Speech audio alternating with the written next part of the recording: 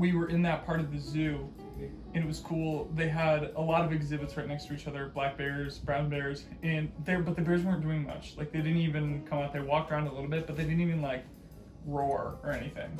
It was Well- so stupid. Bears don't roar. What do you What do you mean? I mean, bears growl, not roar. I'm confused by what you're saying.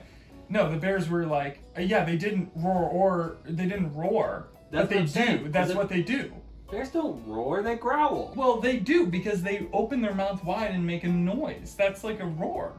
That's I- the definition of a roar. I would call it a growl. I think lions roar. no, no, no, no. it Yeah, doesn't sound yeah. like a roar when bears do it. So lions roar. We agree. agree right? Lions, Lions roar. clearly do, roar. Do a lion roar for me. Yeah, big. The mouth is open, right? Okay. Dogs growl. Right? Yes. You agree with that? growl. Dogs growl. Yeah. Okay, perfect. Then growl. Growl like a dog. yes, the mouth is shut. I might have my mouth open. Barely. Barely. I'm saying, but a lion a- doesn't go. I mean, a bear doesn't go.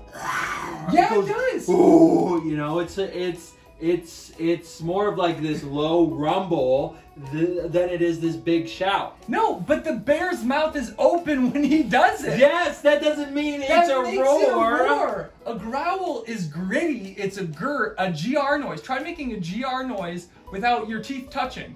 I just That did was it. a roar! It's a throat noise. You that was a growl. No, a growl is like gritting your teeth because the gr grit grit your teeth.